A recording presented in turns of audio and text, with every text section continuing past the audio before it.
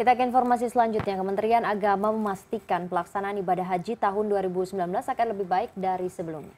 Hal ini disampaikan dalam acara CNN Indonesia Meet Up yang diselenggarakan oleh CNN Indonesia TV bekerjasama dengan Kementerian Agama Republik Indonesia. Jamaah haji yang akan melakukan ibadah haji pada tahun 2019 dipastikan akan beribadah dengan lebih mudah dan nyaman. Kementerian Agama telah mendesain delapan inovasi penyelenggaraan ibadah haji. Dengan pola ini, Kementerian Agama memastikan jalannya ibadah haji akan berjalan lancar dan lebih baik dari tahun-tahun sebelumnya. Hal ini disampaikan Dirjen Penyelenggaraan Haji dan Umroh Kementerian Agama Nizar di kampus Universitas Islam Negeri Sunan Kalijaga, Yogyakarta, Selasa pagi. Dalam diskusi bertajuk Haji Pintar dan Umroh Cerdas yang dimoderatori anchor CNN Indonesia Eva Yunisar ini terungkap, Delapan langkah ini diambil untuk menyelesaikan isu mulai urusan imigrasi, fasilitas jamaah seperti penginapan dan catering, serta perbaikan sistem dan kapasitas penyelenggara ibadah haji. Inovasi ini akan lebih memanjakan jemaah calon haji.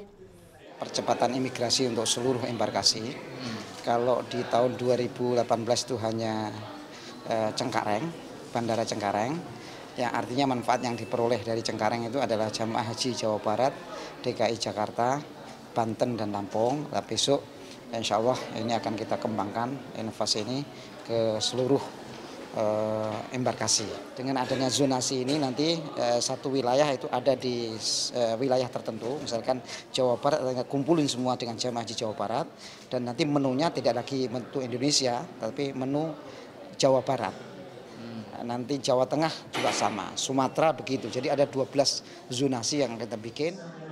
Sementara itu, Rektor UIN Sunan Kalijaga Yudian Wahyudi menyatakan mahasiswa-mahasiswanya telah siap berkontribusi dalam sistem haji dan umroh yang lebih baik ke depan. Dibuka prodi ya, manajemen haji dan umroh. Nah ini memang sengaja secara sistematis dan akademik dipersiapkan untuk melahirkan uh, alumni yang akan membantu pemerintah di dalam bidang haji dan umroh ya yang uh, apa itu dari segi keilmuan kesiapannya tentu di samping masalah haji sebagai sebuah ibadah juga dilengkapi dengan kemampuan bahasa, teknologi, manajerial ya.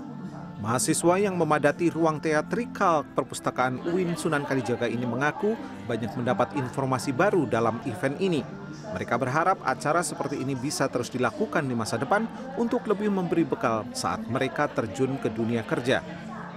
Kalau menurut saya acaranya ini bagus buat uh, sekalian belajar tentang uh, bagaimana kita tuh mengetahui lapangan dari haji dan, dan umroh itu sendiri.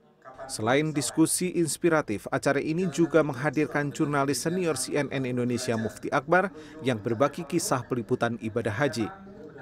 Tak hanya itu, YouTuber Dodi Hidayatullah dan dua entrepreneur bidang teknologi informasi, Mukharobin Mahrufi dan Ma'arif, turut berbagi kesuksesan di era milenial.